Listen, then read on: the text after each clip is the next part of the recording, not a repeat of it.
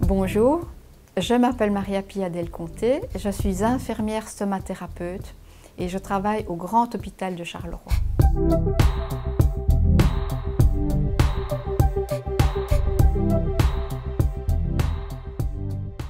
Venez madame, je vous en prie. Installez-vous.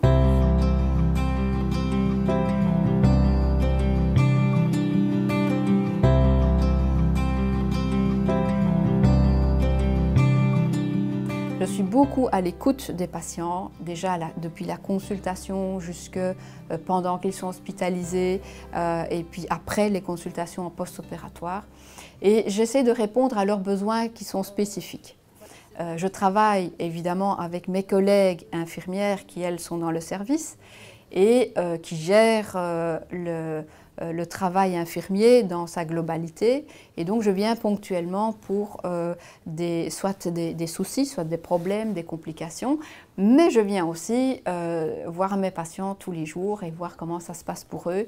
Et ça me permet aussi de centraliser toutes les informations qui viennent de mes collègues, des médecins, de la diététicienne, du service social, etc. Je centralise toutes ces informations et je les redistribue aux patients.